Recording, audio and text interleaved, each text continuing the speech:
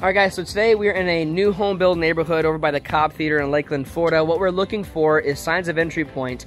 Uh, these guys here called this out because they have uh, signs of rats. They have noises and scratching behind their walls from their attic space. Um, so we're here to take a look at that, giving them a full home inspection. And while I'm doing that, I'm going to show you guys what to look for while you are out in the field looking at these houses, doing your own exterior inspections, roofing inspections, attic inspections, so on and so forth. Uh, we do this all the time. and There's a lot of things that a lot of um, a lot of home inspectors unfortunately miss. Um, they don't know what to look for. They're not looking for signs of wildlife run houses and compromised attic spaces and insulation and so on and so forth. So today, we're going to show you what to look for. We want to try to find a uh, space about the size of a quarter. If it's the size of a quarter, a rat can get in there. If it's the size of a dime, a mouse can get in there. We also want to look for signs of bad entry points. reason being, I like to critter-proof these homes so they don't have to worry about any forms of wildlife whatsoever. Um, so when it comes to bats, they can get in as small of a space about the size of a number two pencil. All right, so up here, a little closer look at the soffit structure. So this right here leads right to the attic space. That gap there that look about the size of a, of a dime, it sure does. Quarter can fit right there. Not a lot of that, not a lot of activity here. Raccoons, possums, you name it, like to crawl in these areas. This is called a roof angle. This is where this, this plane meets another plane. Where the soffit runs right into the roof. This is where the majority of the wildlife love to enter in. Whether it's squirrel, bat, rat, mouse, whatever the case is, man, even raccoon, possum, everything, you name it, they love entering into those areas. And then over here, you got these pipe stacks. These need to be sealed off completely. Um, this is a newer home, so there's no signs of chewing, gnawing from squirrel or rat or anything around here, which is good. With this being a new home, watch this. Let's see. This should have a screen on it. There's no screen. There's no uh, debris around here, so this tells me that this is not from the dryer. This lets the attic space breathe. So this is a wide open gap, this size, about this thick.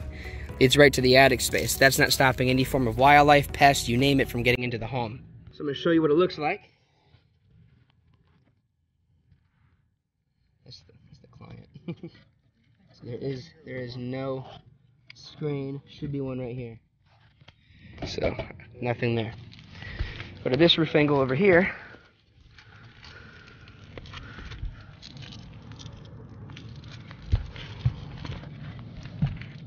So we see signs of feces right here.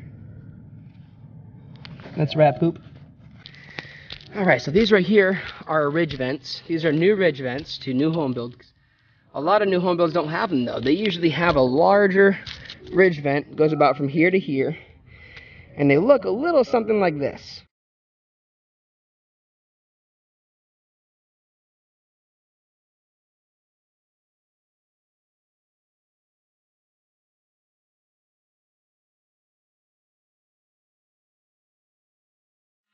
All right, so right now we're gonna take a look where the wall meets the soffit, all the way to the top. And again, if a number two pencil can fit in that space up there, so can a bat look for all this area up here. The full exterior. That area right there. Right there. That needs to be sealed off. So whenever we find a space, like that over there, where a pencil can fit in, what we end up doing is we also look for signs of feces along the side of the wall, like right there as well. We look for signs of tar, dirt, um, tracking going in, going in and out of that area. I don't see anything as of right now, so the good news is don't have to worry about that. Looking for signs of feces, bat guano, lizard, rat, mice. Looking for a little bit of everything. Just to make sure. Look in the corners, on edges. Right here, that's that's the compromised space. See, so right here, that leads right to your to your attic space. So the soffit, the holes in the soffit are giving your attic space um, an area to breathe. And with doing so, I mean, that's this is all compromised right here. This is all compromised issues. This is a brand new home build. These guys just moved in this last year. You can tell, look how, look how open these gaps are. You can tell the community just by looking at it. We call these cookie cutter communities. all new home builds, brand new houses. Only a couple years old. And they already are built with these defects right here. Right here, there's more more open soffit. All that soffit right there. Hmm. You got chewing. You got chewing.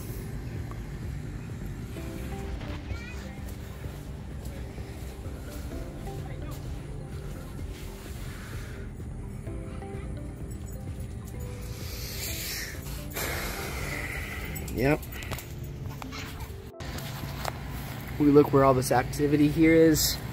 Take a look for any holes going into the building. Underneath these boxes here, make sure there's no space large enough for mice, rat.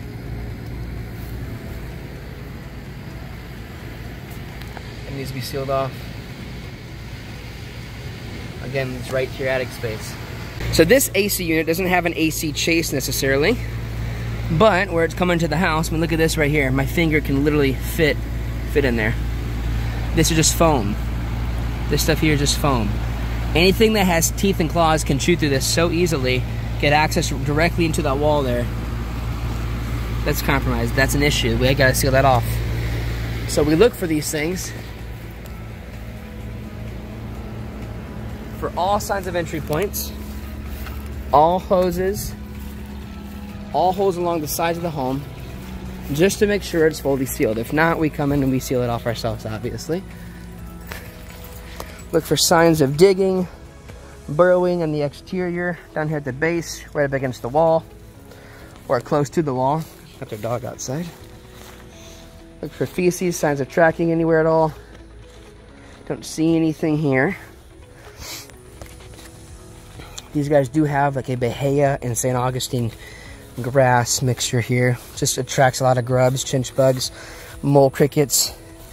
Attracts things like armadillo, which you can tell here. It's an issue. So just some curious armadillos. There's no burrowing anywhere, which is good. We don't want to find burrows. That can compromise the foundational structure of the building. Look around these areas here where there's moisture that's collected. Any rat feces. Oh, I got some frogs and got some toads. You wanna, guy's foot's hanging out. Just wanna make sure there's no signs of rat feces anywhere. So these are some other photos of some other homes. This here is obviously a J vent.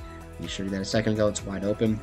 Uh, this here is called a ridge cap. On each side of that cap, it is wide open for wildlife to get into and other pests. This here, the light fixture there wasn't installed accordingly, and actually pulling down that soffit, allowing entry point to your attic space for wildlife and other pests. Here you got some wires from cable companies that run up to the soffit structure, a lot of times exposing that for pests to get into the home. Um, once again, obviously, where the soffit meets the home, you want to be checking those all the time.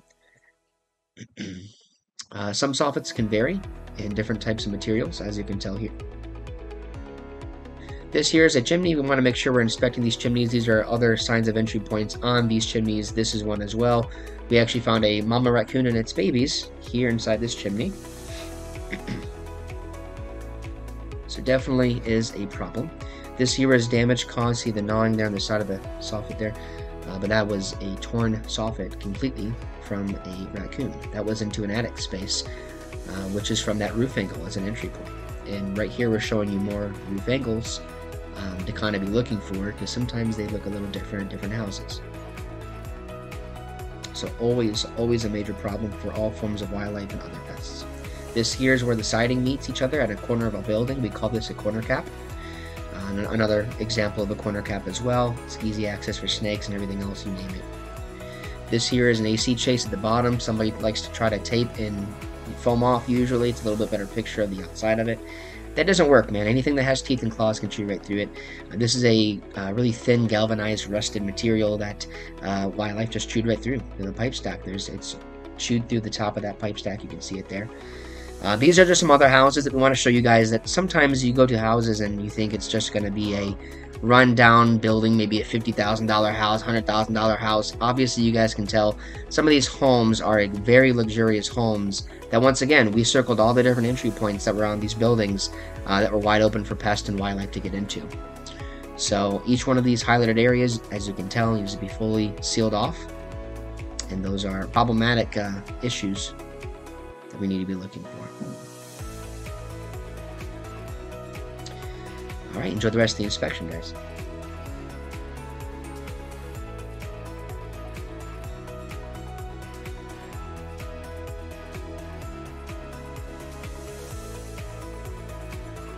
So as you guys can see, there's a big issue that's a huge oversight in this industry. In the housing community, we've got to think about these things when doing our inspections. In all these houses here, guys, that you see, again, new home build community, a lot of gaps still in these homes. And unfortunately, 86% of all houses here in the US have a wildlife problem. And only 24% of homeowners actually report a problem